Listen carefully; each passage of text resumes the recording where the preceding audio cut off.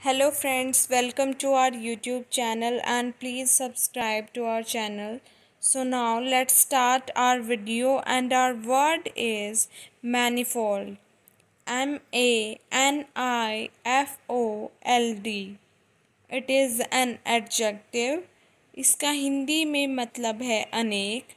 And its meaning in English is many Synonyms are numerous and multiple. Antonym is few. Example sentence is The implications of this decision were manifold. Thank you for watching my video. Please subscribe to our channel.